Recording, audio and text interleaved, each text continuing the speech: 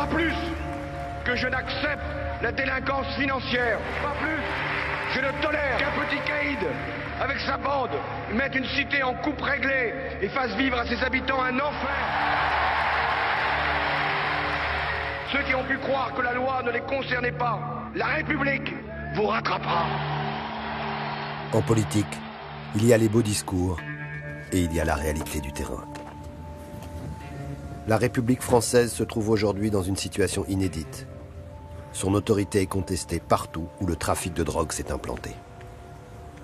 Quand on est un maire, on représente la République, on est partout chez soi. Et euh, il faut montrer au contraire que, que vous avez le droit et, et l'obligation d'être partout. Il y a des gens qui nous regardent, hein Ah ouais, il y a des gens qui vous regardent, c'est campagne l'évêque. Sauf que dans cette cité marseillaise, il faut se plier à l'ordre local. Des guetteurs en voiture sont là pour le rappeler. Qu'est-ce qu'il a dit Il a dit le bâtiment, pas là-bas. Il vous autorise à filmer quelque chose et pas l'autre, quoi. Mais qu'est-ce qu'il y a là-bas exactement Les choses sont claires, hein. Les choses sont claires. La drogue a tout renversé sur son passage. Elle a fait reculer l'autorité de l'État. Et sa puissance économique a redessiné le paysage du banditisme français. Aujourd'hui, il n'y a plus que ça. Tiens, moi des braquages aujourd'hui. Pas beaucoup, hein, aujourd'hui, des braquages, parce que tout le monde il fait la drogue. Tout ce qui est interdit, la démocratie, les banlieues, tout ça, ils se jettent là-dedans. Et puis c'est- tellement facile. Moi, je montais à Paris avec 500 kilos, je redescendais, j'avais 50 millions. Ça vous fait tourner la tête, quoi. Il y a tellement d'argent, tellement d'argent dessus. Cela fait 40 ans que la France est en guerre contre ses trafiquants. 40 ans que les discours officiels sont les mêmes. Mais en réalité, le rapport de force est de moins en moins en faveur de la République. Et la guerre n'empêche pas les petits arrangements. Dans certaines villes de banlieue, les élus se seraient même déjà adaptés. Les gens au pouvoir dans la ville savaient qu'on tenait le quartier. C'est pour ça que souvent, des gens comme moi ont été utilisés. En fait, on a aidé le pouvoir à s'installer. Mais voilà, bah, tout est calculé pour garder le pouvoir.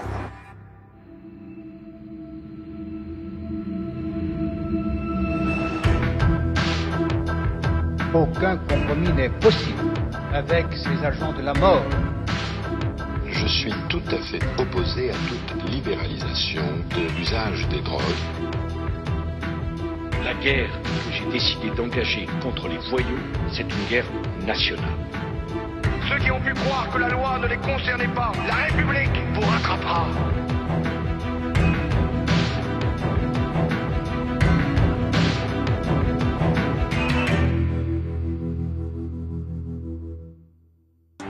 Cela fait maintenant 40 ans que la drogue a pénétré en masse le territoire français. 40 ans que sa puissance économique défie la République jusque dans les banlieues. Il n'y a pas 36 méthodes pour régler un problème criminel. Il y a l'affrontement musclé, le compromis euh, territorial ou la lâcheté absolue. L'affrontement musclé est rare, la lâcheté absolue plus répandue et le compromis territorial est la base naturelle de la survie politique. Pour comprendre comment la situation a pu échapper à ce point-là au monde politique, il faut revenir sur 40 années de guerre à la drogue. Tout avait pourtant très bien commencé. Un accord franco-américain vient d'être signé à Paris par l'attorney général des États-Unis, M. John Mitchell, et M. Raymond Marcelin, ministre de l'Intérieur. C'est le 26 février 1971 que la France déclare officiellement la guerre à la drogue. La signature de ce protocole marque une date importante dans la lutte contre les trafiquants. Ce jour-là, le ministre de l'Intérieur promet aux Américains de changer radicalement de politique. Car cela fait plus de dix ans que le milieu marseillais prospère dans le trafic d'héroïne.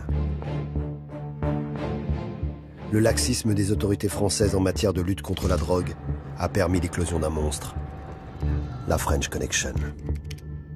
La French Connection, ça a été que euh, Marseille, c'était eux qui produisaient la drogue. hein. Voilà, il faut dire ce qu'il en est. À l'époque, c'était l'héroïne. Les meilleurs laboratoires, c'était à Marseille. hein, voilà. Et euh, les Américains adoraient l'héroïne marseillaise. Elle était pure, euh, pratiquement 100%. Nous, on prenait un kilo d'héroïne en Thaïlande, on le payait 7000 dollars, arrivé à New York, 120 000 dollars. Mais tu, est-ce que tu te rends compte la différence que c'est? 113 000 de, de bénéfices sur un kilo? 113 William Perrin, dit Le Grand, ancien perceur de coffres, reconverti dans le trafic de stupes à 40 ans. Sa mission de l'époque, convoyer l'héroïne de la French Connection sur le territoire américain. J'avais acheté deux cantines. Il y avait 50 kilos dans chaque cantine. J'avais loué une Cadillac. Ah, je respectais la limitation de vitesse. hein. C'était, C'était 110 miles aux États-Unis, c'était 110 miles. La morale du trafiquant est simple. Tout pour ne pas se faire attraper. Les dangers sanitaires du produit qu'il transporte ne lui posent aucun état d'âme. J'en sais rien ce qu'ils mettent dedans, mais enfin, faut être costaud pour s'enfiler ça dans, dans, le- dans le- dans le sang, je te le dis tout de suite. Hein. Tu me ferais même pas prendre un rail, moi. Je, je risque pas d'y toucher, je te le dis tout de suite. Hein. Pendant dix ans, William Perrin et ses complices de la French Connection profitent de l'absence de coordination entre États. Les overdoses ont lieu aux États-Unis et les problèmes de santé publique ne dépassent pas les frontières. Et tant que les Américains ne tapent pas du poing sur la table, la police française ne s'intéresse pas réellement à ce trafic. Il n'y avait pas de problème de santé publique français. Il n'y avait pas de consommation locale. Pratiquement pas. hein. Ça n'existait pas dans les années 60. Les gaullistes et le général de Gaulle disaient si on empoisonne les Américains, ça ne nous dérange pas. Bon, dès qu'on était intervenu avec des moyens qui n'étaient pas des moyens extraordinaires, mais enfin des moyens quand même, bon, ils ont été décapités en l'espace de 4 ou 5 ans. Quoi. 675 trafiquants ont été arrêtés et une saisie spectaculaire de morphine base a été faite. 450 kilos, c'est là un grand succès remporté par la police euh, française. Malgré le ton réjoui du ministre, la guerre contre la drogue ne fait que commencer. Les chefs de la French sont tombés, mais bientôt, de nouvelles têtes vont continuer le business. Nous, on était des voleurs dans notre quartier. On- on- la, la cam, on s'en foutait de la cam et tout. Puis après, le, le temps évoluant, le temps évoluant, j'ai investi. Nous, on prenait ça comme un, comme un commerce. C'était payé cash, hein C'était des sous. Alors, c'était des sous énormes. Alors, quelque part, qui c'est qui n'est pas insensible à ça hein? Euh, Les sous, ils rentrent, c'est du bon boulot. C'est facile. Tu arrives toujours à trouver un passage pour passer. Mais c'est- c'est tellement facile. Et l'autre est que ça te rapporte. Tu comprends? Voilà, c'est ça. Preuve que le trafic continue. La consommation de drogue dure débarque à son tour en France. L'héroïne fait des ravages au début des années 80. Quand la drogue s'est installée au départ, c'était les bourgeois qui venaient vendre la drogue dans nos quartiers. Les pauvres étaient des consommateurs de la drogue. Sans, malheureusement, on ne connaissait pas, c'est quelque chose qui était complètement nouveau, on n'était pas préparé. C'est allé très vite, vraiment, ça a été euh, euh, foudroyant. On se levait le matin, vous aviez des jeunes qui venaient se faire une overdose. On avait les pompiers aller au moins minimum deux fois par jour. La CAM devient un fléau national qui inquiète les politiques de gauche comme de droite. Il est criminel de compromettre l'avenir de toute une jeunesse. Or, vous savez comme moi que quand les trafiquants sont condamnés, ils sont libérés au bout de quelques années, avant la fin de leur peine, et recommencent leur trafic honteux. Si quelqu'un d'entre eux était condamné à mort et exécuté, je pense que cela donnerait à réfléchir aux autres. Les peines de prison pour trafic passent de 5 à 20 ans. L'heure est à la fermeté absolue. Même les protections politiques dont jouissaient certains voyous ont tendance à disparaître. Francis le Belge, le parrain de Marseille des années 80 tombé pour trafic de stupéfiants, et son bras droit Tony Languille en ont fait l'amère expérience. Sais, dans la vie, quand tu as des, connaissances et tout, mais ça sert toujours dans la mesure où demain où tu es en prison, si tu peux faire intervenir euh, un homme politique, c'est important. Voilà. Bien que dans la drogue, euh, il y a très très peu de, gens qui interviennent euh, pour te sortir de là. Bon, ça a été le cas pour Francis. Quand je suis intervenu auprès de certains politiques, euh, non, non, non, là, la drogue, ne touche pas.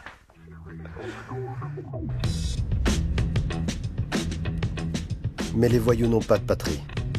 La France ne leur permet pas de trafiquer en paix. Qu'importe. À la fin des années 80, ils partent tous se mettre au vert en Espagne. Commence alors une parenthèse enchantée dans l'histoire du milieu.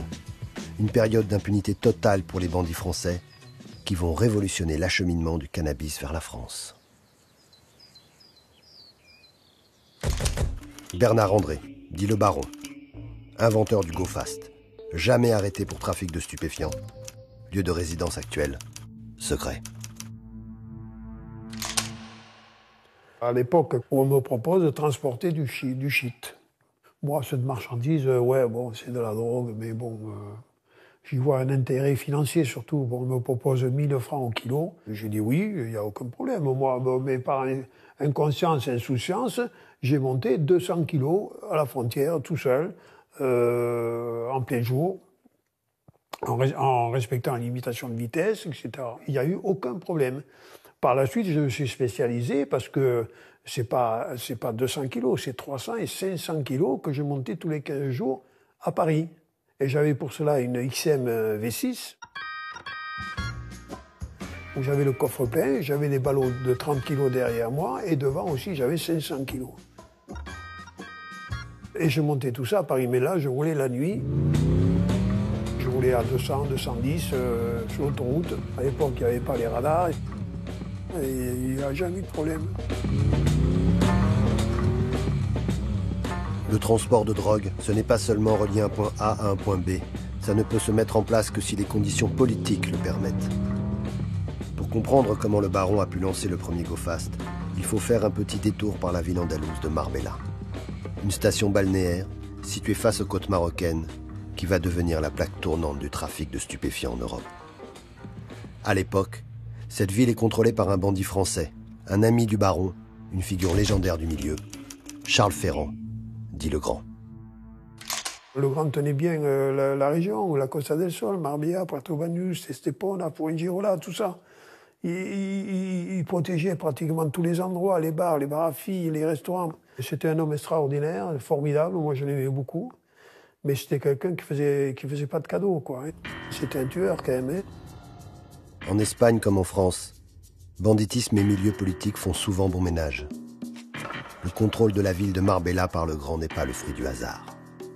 Ses qualités de tueur intéressent énormément les autorités espagnoles. C'est l'époque des luttes indépendantistes. L'époque où le théâtre militaire terrorise l'Espagne au nom de la cause basque. L'époque aussi des guerres sales. Cet ami a été le responsable du Gal Rouge en Espagne. C'est ceux qui, ben, qui s'occupaient de faire disparaître des gens, de les tuer ou de les faire disparaître. C'était surtout des voyous français euh, recrutés parmi les anciens du SAC et les anciens mercenaires. Sous les ordres du Grand, le GAL se permet même de tuer les indépendantistes basques en dehors de l'Espagne. Pour chaque attentat revendiqué par ETA, le GAL venge le gouvernement espagnol et tue en France. Œil pour œil, dent pour dent. Rien que sur le territoire français, on dénombre plus de 25 assassinats. En échange de ces basses besognes, les autorités espagnoles donnent au grand les clés de la ville de Marbella. Et la station balnéaire devient immédiatement le repère de tous les grands bandits français. Et moi, personnellement, quand je m'évade, euh, je vais en Espagne. Hein, et puis après là-bas que Francis, on s'est installé là-bas. C'était la, bonne époque pour ainsi dire. Francis le Belge et Tony Languille sont formels. Jamais dans l'histoire du milieu, une telle impunité n'avait été constatée. C'était la facilité. Qu'est-ce que tu veux faire? Celui qui avait un peu l'âme de trafiquant de voyous, il dit oh, l'Espagne, c'est un pays de cocagne finalement. Tu là-bas, on est bien, on fait la fête, tout, on peut rouler en Porsche, tout, on ne nous dit rien. C'est vrai que beaucoup de Français, ils le pays d'Amérique, l'Espagne.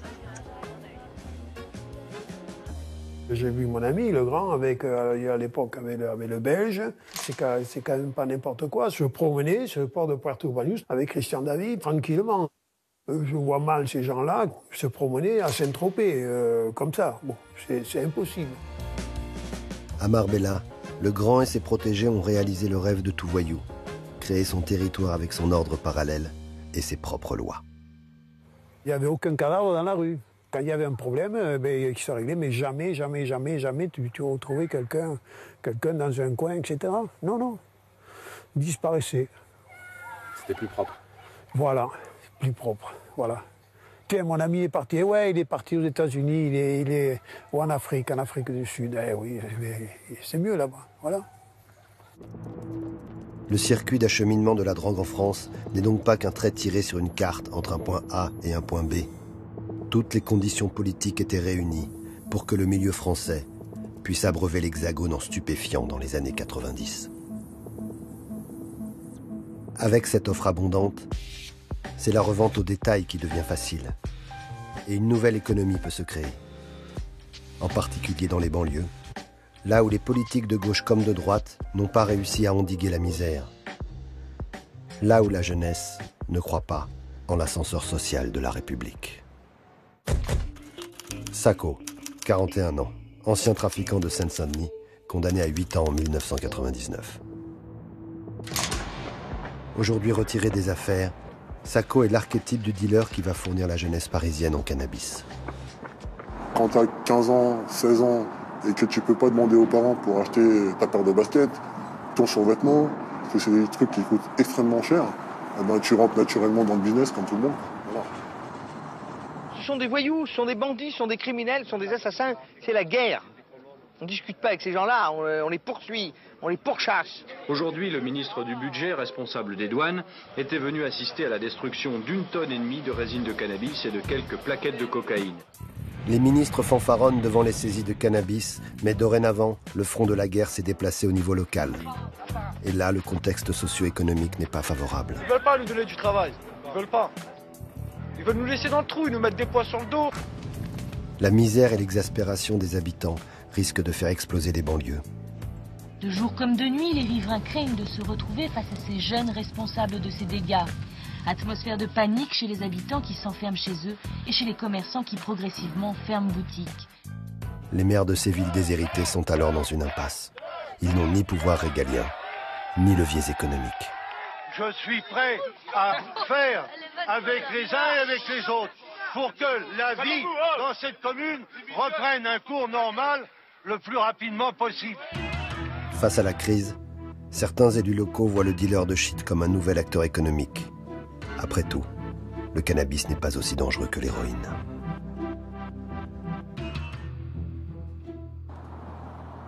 On faisait travailler euh, une quinzaine de personnes. Donc quand tu fais travailler et que tu donnes à manger aux gens, ben forcément tu fais vivre les gens autour de toi, mais aussi tu fais vivre euh, les petites entreprises qui sont autour, euh, autour de quartier. Il y a la boulangerie, euh, il y a le café du coin, il y a l'épicier, la pharmacie et autres, qui fait qu'il y avait une vie économique. Quelque part, on fait un peu la gueule, mais on sait très bien que s'il n'y avait pas ça, il y a bien des familles qui crèveraient complètement de faim. Voilà, ça, il faut le savoir, ça. Donc, quelque part, c'est vrai que, bon, chacun se démerde de sa façon. Personne n'a un intérêt à une éradication musclée de l'ensemble des activités euh, criminelles. D'abord, parce qu'on ne sait pas si ça ne va pas tout faire sauter. Euh, ensuite, euh, parce qu'on se dit, bon, ben, une fois qu'on a fait ça, de quoi est-ce que tous les gens qui sont dans le système vont-ils vivre? À partir du moment où l'espèce tourne dans le quartier, eh ben, il n'y a pas d'inquiétude, parce que c'est calme. Tout devient calme, tout devient serein. C'est dans ce sens-là où on avait quelque part une, sorte de paix sociale. C'est très dangereux pour euh, la démocratie. Mais il y a plein d'élus qui se disent euh, ce quartier-là, tu l'oublies, euh, celui-là, tu l'oublies. Oui, il y en a qui ferment les yeux, mais, c'est mortifère. C'est mortifère. Et c'est ça qui fait monter en puissance l'extrême droite. C'est-à-dire qu'on on donne le sentiment d'impunité. Après l'époque de la fermeté face à la drogue, voici venu le temps des petits arrangements. Une politique dite des grands frères se met en place en banlieue. La méthode Embaucher des jeunes de cités influents, capables de calmer les esprits, même s'ils ne sont pas dénués de liens avec le trafic. Plus tu es fort dans le quartier, et plus on te respecte. La ville te respecte. Euh, les gens qui sont à la mairie te respectent. Voilà. Donc on t'appelle pour des réunions, on t'appelle pour donner ton avis, et tout de suite tu te sens important. Voilà. Et il y a eu un, recrutement massif, énormément, euh, chez nous, hein, mais même dans les villes de droite, hein, de l'autre côté, où euh, des gens qui faisaient partie du business arrivaient tranquillement en mairie et qui étaient, euh, qui étaient fonctionnaires tranquillement, sans forcément aller au travail. Bah, quand on choisit de faire la politique des grands frères, ça dépend quel était l'objectif. Si l'objectif est la paix sociale et d'être élu aux élections, ça peut marcher. D'ailleurs, en général, ça a marché.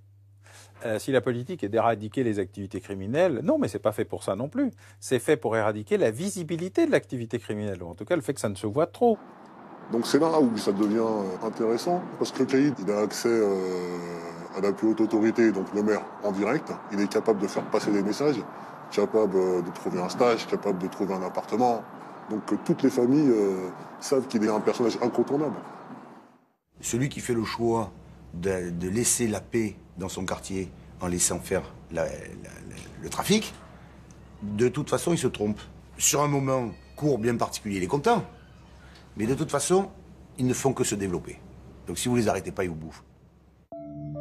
Une tolérance des pouvoirs locaux sur les points de revente et une offre qui continue d'arriver par tonnes de Marbella ou de Hollande.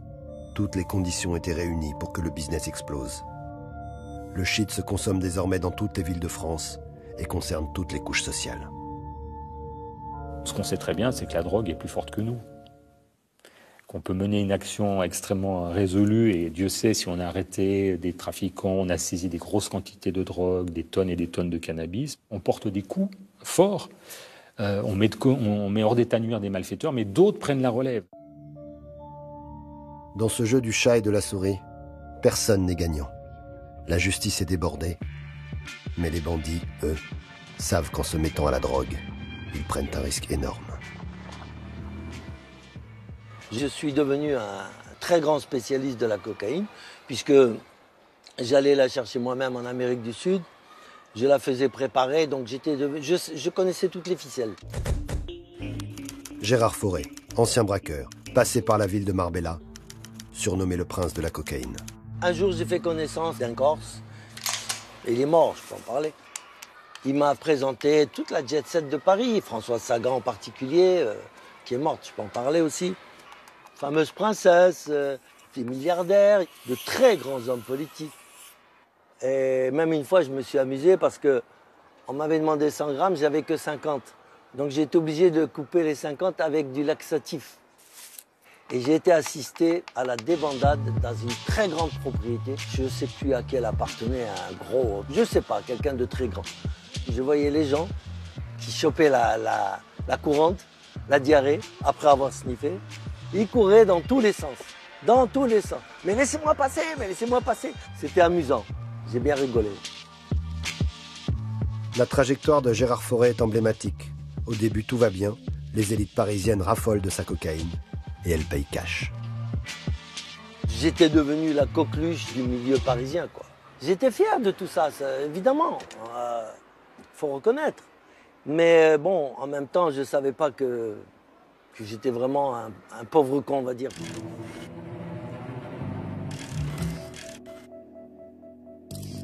J'ai payé 15 années de ma vie pour, pour tout ça. 15 années de prison. Tous les trafiquants passent inévitablement par la case prison. Le business de la cam est l'activité du milieu la plus risquée. Je voulais pas le faire ce voyage, c'était le dernier. Et puis on a été marrons. William Perrin a pris 13 ans pour trafic d'héroïne en 1988. Quand j'ai vu les poulets rentrer, je dis ah, je suis beau avec les valises. Trafiquer et aller braquer, c'est deux mondes différents. C'est qu'il le trafic, c'est toujours un truc que les gens ont l'impression que c'est facile. Voilà. Mais dans le trafic, tu es obligé de passer par plein de monde. Des gens qui ne sont pas voyous, qui n'ont pas de mentalité. Pour eux, c'est des gens, tiens, je vais passer une valise et n'importe quoi. Mais si demain la police les arrête, ils racontent leur vie. Si je touche pas à la je serais passé à travers toute ma vie. hein. C'est- la cam que j'ai j'ai payé le plus. Ben, J'y ai payé pour la cam. Le jour où on m'a arrêté, il y en a 25 qui sont venus témoigner contre moi, hein, de la jet set bien sûr. Et ils ne se sont pas gênés hein, pour m'assassiner. Ils ne se sont pas gênés du tout. Ah, ils sont donnés à cœur joie. Ah oui, Gérard, oui, mais c'est le champion de la cocaïne, lui. Bah, fallait voir ce qu'il avait. C'était une, une, une mette et c'était la curée, quoi. À la fin des années 90, la guerre à la drogue prend une forme paradoxale. Les polices françaises et étrangères obtiennent de bons résultats contre le trafic international. Par contre, au niveau local, les forces de l'ordre sont face à un problème d'un nouveau genre. Les dealers de cannabis ont bien grossi et ils ont l'avantage du terrain. La conception des barres d'immeubles est mal faite, la, la police a du mal à y accéder, euh, les types sont très bien organisés, ils sont intelligents. C'est une vraie erreur de construction stratégique de la ville. Les policiers, non seulement sont des cibles quand ils interviennent, mais peuvent être aussi des cibles de guet-apens. C'est-à-dire que là, il va y avoir un combat pour le contrôle du territoire. La nuit dernière, la police a dû faire face à un véritable harcèlement. Une voiture bélier a même tenté de défoncer un commissariat et trois personnes ont été interpellées. Ce matin, les policiers déménageaient en sauvant ce qu'ils pouvaient de leur mobilier. Pour le ministre, les policiers sont, je le cite, les hussards de la République. Il a par ailleurs affirmé qu'il était inacceptable qu'il y ait sur notre territoire des cités interdites. Les tentatives de la République pour récupérer ces territoires vont toutes se solder par des échecs. L'essentiel, c'est que la police soit proche de la population. En 1997, la gauche crée la police de proximité. Pas mal de gens à titre anonyme qui nous appellent comme quoi les jeunes du coin, les dealers, euh, planquent leur stock euh, de haches euh, dans les taillis. La police de proximité, c'était véritablement la possibilité de pacifier un quartier. Et puis le problème, c'est que ceux-là même qui ont conçu le concept ils l'ont tué parce que tout d'un coup, on a voulu étendre ça dans toutes les villes de France et on n'était pas dimensionné pour. Ensuite, euh, Nicolas Sarkozy est arrivé. Euh, je dirais qu'il a mis les clous sur le cercueil parce que la police de proximité était déjà morte. Améliorer notre quartier surtout. Ouais, c'est ce qu'on essaie de faire. Et la sécurité. Merci. L'occupation du terrain laisse place à la politique du chiffre. La police d'intervention de type BAC entre quelques minutes dans la cité pour appréhender le dealer et ressort avant que ça n'explose. Le souci qu'on a eu, c'était à l'époque de la batch. Dès qu'on sentait qu'il y avait un flic qui allait un peu trop loin, très rapidement, sans l'insulter, euh, sans lui courir derrière, euh, on savait comment le ralentir un petit peu. Il fallait juste toucher euh, directement le maire. Le rapport de force, c'est très simple. C'est, s'il veut faire de cow-boy, on va s'occuper de lui, mais on va aussi s'occuper de ta ville. Ça va plus être ville fleurie, ça va être la ville d'autre chose. Voilà. Et les, élections, c'est dans, dans deux ans, on s'en souviendra. Il est certain que les élus locaux ont un problème de paix sociale et d'image de leur ville, et même s'ils ne sont pas directement connectés au crime organisé, euh, ils n'ont pas intérêt non plus à ce que leur ville soit à feu et à sang. Donc ça pèse énormément sur euh, le politique. Un certain nombre de maires de ces villes-là euh, à l'époque, ont une lourde responsabilité. Moi, j'ai souvenir de, commissariats dans lesquels on était arrivé d'interpeller des gens et d'avoir des maires qui déboulaient au commissariat euh, pour exiger la libération d'un certain nombre de, personnes.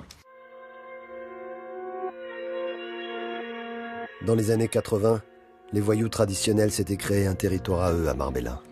À la fin des années 90, la nouvelle génération fait de même au pied des tours des cités. On a finalement abandonné l'occupation du terrain. Ces cités sont devenues encore plus des espèces de, citadelles dans lesquelles euh, on ne savait pas ce qui se passait. La République française a reculé une première fois, mais c'était sans compter sur la connexion des deux niveaux de trafic de drogue, le national et l'international. Le banditisme de cité et le milieu traditionnel étaient forcément amenés à se connaître mieux, et cette rencontre devait forcément avoir lieu en prison. Tony Languille, braqueur multirécidiviste, trafiquant international, personnage influent du milieu. Lors d'un de ses séjours en prison, Tony Languille prend sous son aile Farid Berama, un jeune voyou des quartiers nord de Marseille. Cette rencontre marque la première pierre d'une restructuration du milieu français. C'est-à-dire que Farid Berama, quand j'étais à lui en prison, c'était un jeune, il avait un problème avec quelques mecs, il était, tu vois, dit, roi Tony, il y a un mec dehors qui nous a balancé, comme si jamais il sort, qu'il peut le faire rétracter. Je dis, pourquoi pas? Je suis sorti de la prison, j'ai attrapé le mec, j'ai fait, dis-moi, toi, tu as balancé dans cette affaire, tu vas te rétracter parce que les gens, ils vont prendre des années de prison. Voilà, le mec, il m'a dit, t'inquiète pas, je me rétracte. Il a été content. Il est sorti de prison, il a voulu me connaître plus intimement. Moi, été tout autant seigneur avec lui, tu vois, voilà. Et après, en Espagne, il a voulu venir en Espagne. Il a commencé à faire son trafic, ça lui pesait, l'Espagne. À Marbella, Farid Berama découvre la rentabilité du commerce en gros de cannabis mis en place par le milieu français. Dans son sillage, des jeunes venus de toutes les cités de France s'engouffrent et bousculent l'ordre établi. Ces jeunes sont arrivés sur Marbella et tout, et ils ont pris eux-mêmes le marché, quoi. Hein. Ils sont mis en relation avec des, Marocains, ils ont fait venir la marchandise. Les membres, ils ont tout compris. Hein. Ça leur coûtait trois fois moins cher. Et, euh, ils mettaient une journée pour faire le- l'aller-retour. Et puis voilà, c'était gagné pour eux. Avec des voitures, des, des go fast, des, des choses comme ça, bah, ils ont été. Moi qui étais capable de remonter sur du go fast, c'est un vrai travail hein, de, pouvoir, euh, de pouvoir alimenter, de, pe- de, de rouler, d'organiser, de gérer. C'est une vraie entreprise, hein, c'est pas, c'est pas du flanc. hein. Par la suite, donc, les routes ont été envahies par tous ces, ces jeunes qui, qui chargeaient ça n'importe comment, euh, avec des 4x4 Porsche, je ne sais quoi, et voilà. euh. alors que moi, au contraire, il fallait, j'étais le plus discret possible, le plus discret possible. On ne peut pas dire que les petits jeunes de banlieue ont bousculé qui que ce soit. Ils se sont tout simplement installés. Les années 2000 sont celles de l'explosion du business. Le trafic de cité est entré dans sa phase industrielle. Dans les cités marseillaises, il y avait, quand j'y étais, euh, des, des- des- des- des immeubles où il y avait 30 à 40 000, 50 000 euros par jour de bénéfices. Par jour. Le trafic de produits stupéfiants en Seine-Saint-Denis a un chiffre d'affaires d'environ 1 milliard d'euros par an. Ce dont on est certain, c'est que euh, l'argent, c'est du pouvoir, c'est une puissance. Et ce qu'on sait aussi, c'est que euh, certains voyous ne sont pas euh, étrangers à la vie, on va dire, à défaut politique, citoyenne. Cette économie clandestine pèse tellement lourd qu'elle finit par créer un ordre parallèle dans le pays. Dans 160 villes de France, comme ici à Vénissieux, la nuit a encore été longue pour les pompiers. Lorsque les cités s'embrasent en 2005, les trafiquants de drogue sont amenés à jouer un rôle citoyen, notamment à Marseille. On a le, match des cités. Donc, euh, on a un championnat de France des cités. Et donc tous les jours, il y a une émeute, il y a une bagarre, il y a un truc qui brûle, c'est épouvantable. On allume le 20h, c'est une horreur. La réalité, c'est que nous, en tant que responsables politiques, on avait très peur. Et donc on se dit, euh, avec Gaudin, euh, avec le maire, on se dit, mais euh, tous les matins, quand on allume la télé ou la radio, on se dit, mais quand ça va démarrer chez nous? Au total, plus de 200 communes ont été touchées par les incidents dans toute la France. Près de 1300 voitures ont été brûlées. Marseille est la seule grande ville de France où on n'a pas eu de problème en 2005. Pas de problème. J'ai pas eu une seule affaire en 2005 euh, concernant des, des, des manifestations qui dégénéraient. Pas une seule. Alors là, d'un autre côté, on est très fiers. Vous voyez, comme Marseille, ville tolérante, ville de respect, euh, ville euh, apaisée. Bon, ça, c'est le discours officiel. Mais après, il faut aller plus loin pour savoir ce qui s'est passé. La mairie de Marseille n'a jamais communiqué sur les raisons véritables de l'absence d'émeutes dans sa ville. Toutes les vérités ne sont pas forcément bonnes à dire. Les personnes dirigeantes en matière de, banditisme des cités n'avaient pas du tout intérêt à ce qu'on se mêle à ces affaires-là. Pour continuer à travailler, disons, dans une certaine clandestinité. Et moins ils voyaient les forces de police intervenir, mieux ça valait pour eux, d'où la nécessité d'éviter des émeutes dans les cités. Voilà comment jouaient les choses. Les cités les plus calmes étaient bien souvent les cités dans lesquelles il y avait le plus de trafic, parce que c'est mauvais pour le business. Les clients, s'il y a des émeutes, ils ne viennent plus. Il existe donc d'autres pouvoirs en France que ceux de la République. À Marseille, à Lyon, à Paris, les émeutes de 2005 ont montré aux autorités que la puissance de la drogue pouvait garantir la paix sociale dans les quartiers. Mais de quelle paix sociale s'agit-il exactement? On va là-haut. On repasse dans 10-15 minutes. Comment? On va passer dans 10-15 minutes, c'est encore ouvert. Ah ouais C'est pas vrai, c'était pas une paix sociale, parce que je peux vous dire que les habitants, ils étaient à fleur de peau, les gens étaient agressés, les gens se, euh, se faisaient frapper. On va voir une amie. Maria, au 6ème. Au 6ème Ouais. Là Ouais. On décidait de la vie des gens euh, à un niveau qui était insupportable. Pour contrer la montée en puissance des trafiquants, les élus locaux n'avaient jusqu'ici aucun levier. Mais la France s'est peu à peu décentralisée et les collectivités territoriales ont maintenant de vrais moyens financiers. Pour les responsables associatifs, cette décentralisation devait être un atout. C'est en tout cas ce qu'Aomar Sadoudi espérait pour son quartier de la Morlette. La Morelette, a été construit en 1962, entre 60 et 62. C'est équilibré, il y a des retraités, il y a des gens actifs, il y a des, beaucoup de jeunes. Bonjour. Ça, c'est ce qui va accueillir le stade. Pour obtenir une infrastructure sportive dans son quartier, Aomar Sadoudi a dû se bagarrer pendant 15 ans. Aux yeux des dirigeants politiques locaux, ce minuscule responsable associatif ne faisait pas le poids par rapport au caïd. C'était vraiment un projet qui nous tenait à cœur parce que ça allait profiter aux jeunes. Avec tout le travail qu'on avait fait, on pensait que ça allait se régler facilement.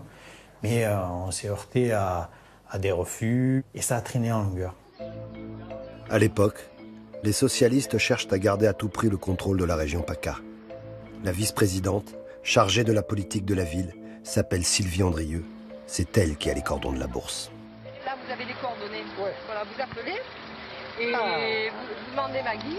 Et moi, je reçois son numéro.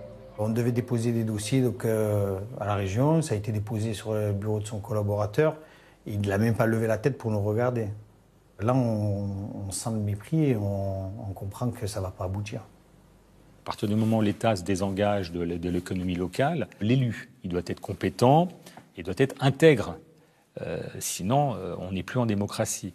Euh, L'autonomie des collectivités territoriales accrue est un facteur, de ce point de vue-là, de, tentation. Ça peut s'appeler de la corruption, ça, ça peut s'appeler du détournement de fonds publics. Ça tombe très vite sous le coup de la loi pénale. Sylvie Andrieux, députée PS des Bouches-du-Rhône, est mise en examen à l'issue de son audition comme témoin assisté. Oh, Madame Andrieux, comment ça s'est passé? La justice soupçonne Sylvie Andrieux d'avoir mis en place un système de financement d'associations fictives pour pouvoir faire campagne dans les cités en toute sécurité. Le système qui avait été mis en place par euh, Sylvain Drieux, c'était l'accès à certains quartiers difficiles. Au moment de sa visite, euh, le travail de euh, regrouper les personnes se faisait en amont et elle arrivait euh, comme une diva avec euh, une assemblée pleine, acquis à sa cause parce que le travail a été fait par ses complices ou je ne sais pas comment on peut les appeler. Je m'appliquerai face à des allégations bien souvent mensongères à apporter des faits matériels pour prouver toute mon innocence. Selon la justice, les gros bras au service de Sylvie Andrieux seraient rien moins que des caïds de cité. L'affaire révélerait ainsi le dernier avatar des liaisons dangereuses entre le monde politique et le milieu de la drogue. Elle connaissait pas ces quartiers. Elle venait d'une famille finalement qui l'a protégée, bourgeoise, qui fait que ben, elle, elle, elle, elle sait pas ce que c'est, elle n'a pas connu euh, finalement toute cette, euh, tous ces quartiers, ces vices, ces, ces travers. Et quelque part, je pense qu'elle a été aussi un peu bernée, quoi. Et euh, ils se sont, ils l'ont utilisée. Dans ces tours et ces cités, les gens sont des victimes. Et donc c'est ça qu'il faut aider. Mais c'est compliqué. Alors, plutôt que de s'en mêler, parfois, le plus simple, par simple cynisme, je te file 4 sous, puis voilà. Vote pour moi. Sylvie Andrieux est condamnée à 4 ans de prison, dont un ferme et 5 ans d'inéligibilité. Pour les magistrats, l'élu a trahi la confiance de ses électeurs en distribuant des fonds publics à des escrocs. Plus de 700 000 euros auraient ainsi été détournés en deux ans. Sylvie Andrieux démissionne de son poste de vice-présidente en 2009. Le projet de terrain de sport d'Aomar Sadoudi obtient le feu vert de la région trois ans plus tard. Moi, le sentiment que j'ai, c'est que c'est dommage qu'on ait perdu autant de temps pour mettre en place ce stade. Mais euh, ça y est, là maintenant, c'est une histoire de quelques semaines, et, euh, voire deux mois. Mais euh, il y aura bientôt des cages de foot, une pelouse et les gamins. On entendra les cris des gamins jouer à l'intérieur. L'histoire de ce terrain de sport est symbolique du fonctionnement de la classe politique française. Certains élus préfèrent se rapprocher des trafiquants plutôt que d'améliorer le quotidien des habitants des cités. Je vais vous raconter euh, un truc euh, assez sympa. Un jour, je suis de passage dans ma ville, élection municipale, donc euh, dans le quartier directement, donc j'assiste, hein, je suis au fond de la salle, et je vois deux collègues, des collègues du quartier. C'est la première fois de ma vie où je les voyais poser des questions. En fait, ils étaient dans la foule pour poser des questions et faire en sorte que le maire réponde favorablement pour que l'élection soit, soit, soit positive. Mais voilà, tout, tout est calculé dans- pour garder le pouvoir. Le choix politique consistant à laisser des cités aux mains des trafiquants était déjà risqué sur le papier. Il va bientôt s'avérer tragique. Un événement clé du banditisme français va provoquer l'escalade de la violence dans les banlieues marseillaises. En 2005, Farid Berama, le trafiquant de cannabis marseillais qui avait installé ses quartiers à Marbella, refait parler de lui. Berama sort de prison et il a décidé de, prendre en main euh, les machines à sous et le trafic de stupes autour de l'étang de Berre. Pour faire main basse sur ce business et sur le territoire de l'étang de Berre, Berama use de méthodes très violentes. Il crible de balles ses victimes, puis les carbonise dans le coffre d'une voiture pour faire disparaître toutes les traces. Le jeune voyou de cité que Tony Languille avait aidé au début de sa carrière s'est transformé en brute sanguinaire. On l'appelle maintenant le rôtisseur. Mais le rôtisseur, c'est un malade. Grave même, je crois, parce que... Enfin, je préfère pas trop parler de ces choses-là. C'est le premier euh, maghrébin, on peut dire, qui voulait devenir roi de Marseille. Voilà, ouais, ça lui montait à la tête. Il s'imaginait, lui, euh, il était jaloux de tout le monde, jaloux de, de- des voyous marseillais. Il était devenu gaga complet, tu vois. voilà. Le problème pour Berama, c'est que les machines à sous, eh ben, les Corses ont mis la main dessus. Berama veut les récupérer, euh, s'adresse pour cela à, un, je dirais, du menu fretin, notamment Roch euh, Colombani. En 2006, l'homme de main Roch Colombani est assassiné. Il reçoit 60 balles de Kalachnikov. Les Corses n'ont pas du tout apprécié cette exécution, quant à l'exécution elle-même et surtout quant à la forme de l'exécution, particulièrement barbare. Et Berama, ce jour-là, signe son arrêt de mort. Quatre hommes armés font irruption dans cette brasserie du 13e arrondissement de Marseille. Ils tirent. Parmi les victimes, Farid Berama, fiché au grand banditisme, bien connu de la police. Ben, il s'est fait tuer, tout simplement, hein, quelque part, un bon débarras.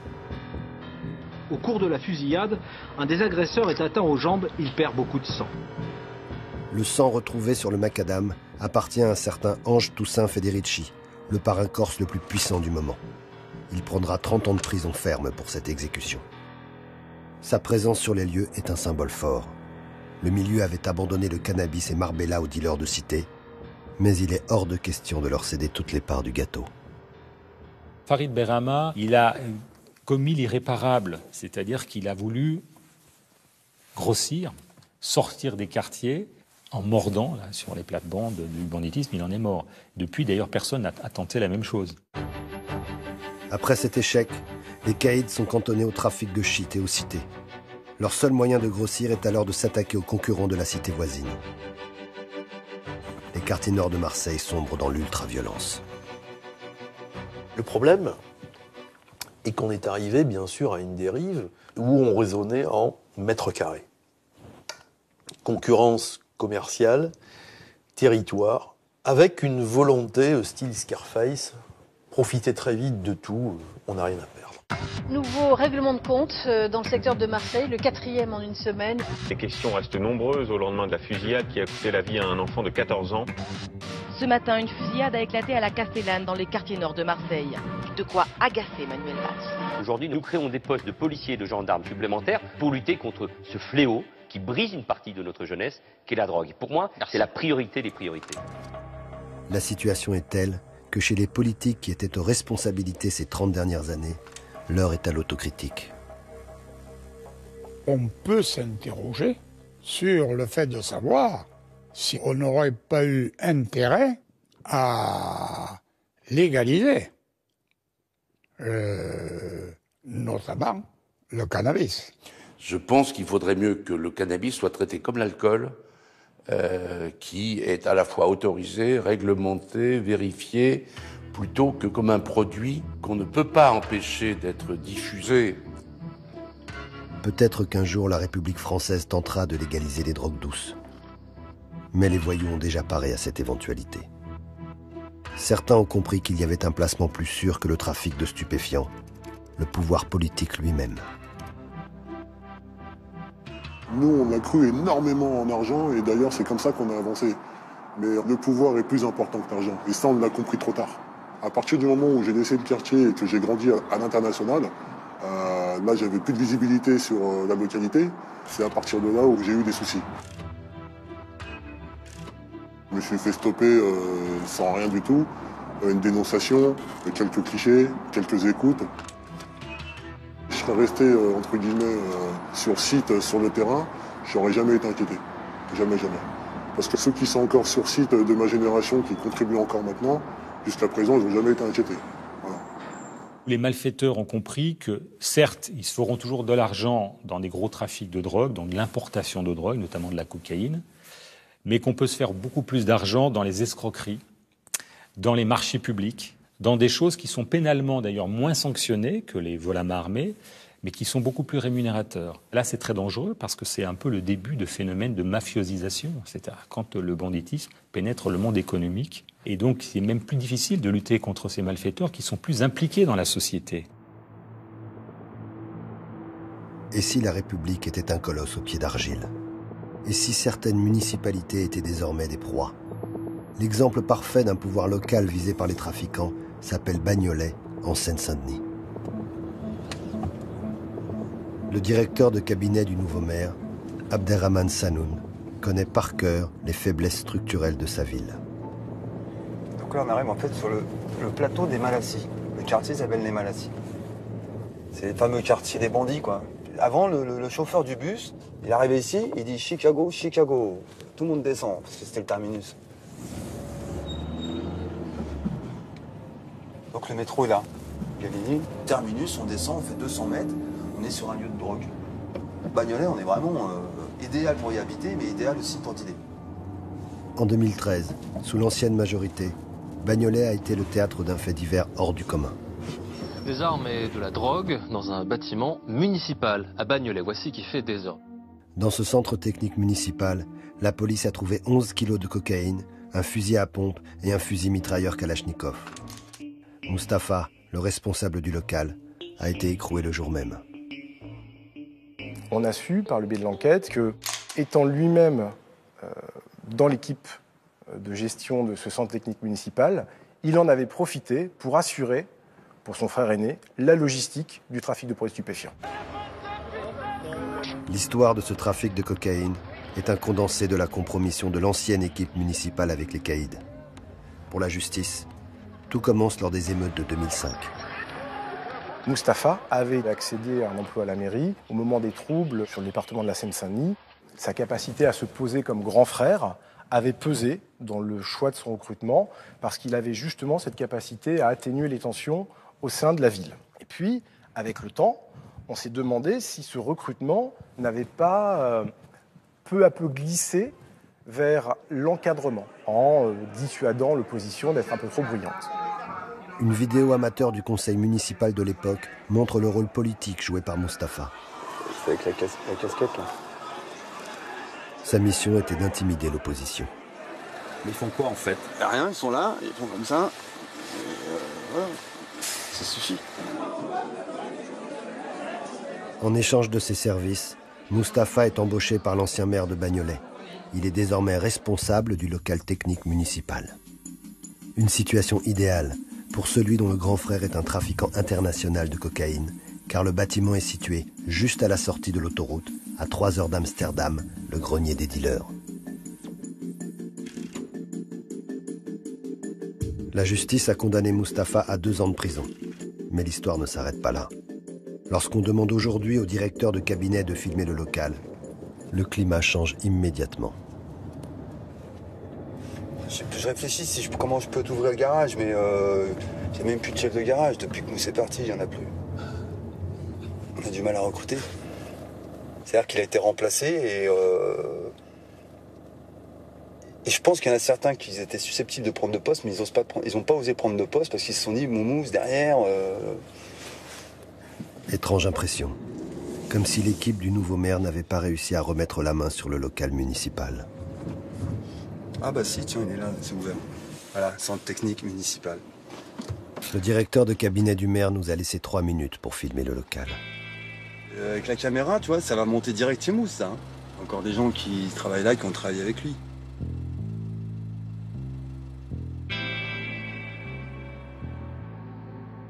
Dans certaines villes de France, les caïds placent leurs hommes de main partout, pour sortir de leur territoire et pour se notabiliser. Lorsque tu montes en mairie et que tu as d'emploi, mais ben forcément, tu as accès au crédit, euh, tu as accès à acheter ton appartement, etc. Le pouvoir te fait rentrer dans la société. Et euh, le business te met toujours en parallèle de la société. Je pense que le vrai voyou, il tient à être respecté, hein, à faire ses affaires, à avoir son, train de vie et être là éventuellement pour, pour conseiller ou aider, voilà. Mais c'est vrai que, bon, le voyou, quelque part, sa vie, c'est pas de rester en bas, c'est de monter. Dans leur quête d'émancipation, les voyous ont aujourd'hui compris que le pouvoir politique pouvait leur apporter la meilleure des garanties, l'impunité. Quelqu'un qui a un trafic et qui a la capacité de savoir quel service de police peut s'y intéresser, c'est un bien extrêmement précieux. Parce que là encore, ça lui permet d'avoir un coup d'avance et euh, d'adapter son trafic face à la réponse euh, policière et judiciaire qui peut être amenée. Certains élus ont euh, indiqué que selon eux, à court terme, les prochaines personnes influentes, y compris validées par le suffrage universel, seraient des gens impliqués dans le trafic de produits stupéfiants. Non seulement la guerre contre les trafiquants n'a pas été gagnée, mais la mafia de la drogue rêve désormais d'un pouvoir sans partage.